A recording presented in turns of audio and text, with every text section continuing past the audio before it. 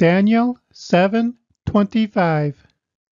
And he shall speak great words against the Most High, and shall wear out the saints of the Most High, and think to change times and laws, and they shall be given into his hand until a time and times and the dividing of time. Daniel 7:25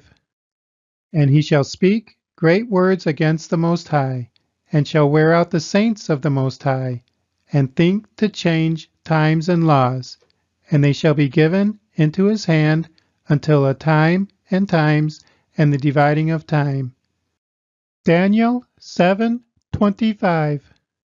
And he shall speak great words against the Most High, and shall wear out the saints of the Most High, and think to change times and laws, and they shall be given into his hand until a time and times and the dividing of time. Daniel 7:25